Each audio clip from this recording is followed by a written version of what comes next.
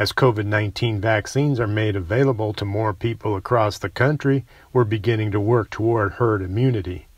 Dr. Frank Esper is an infectious disease specialist with Cleveland Clinic. He says herd immunity happens when there's enough protection in the community to prevent continued spread of the virus. When you see a high percentage of people who are immune to a germ, then that germ is not able to uh, spread so quickly through the community. It's finding roadblocks because people are immune. And when a virus comes to you and you have immunity against it, that, that's a dead end for that virus. That virus has been blocked from spreading Dr. Esper says vaccination is the best way to achieve herd immunity. When people get a vaccine, he says they're protecting themselves and the community, including those who can't get the vaccine for medical reasons. The number of people who need to be vaccinated to achieve herd immunity differs for each virus.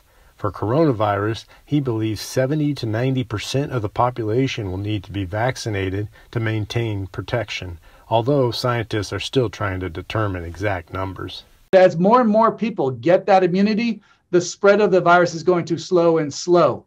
Uh, and eventually, we hope that it's going to get to the point where we get this herd immunity. Dr. Esper says it will be several months before we see large numbers of people within communities who are immune to COVID 19. In the meantime, vaccinated or not, it's important to wear your mask, practice social distancing, and wash your hands.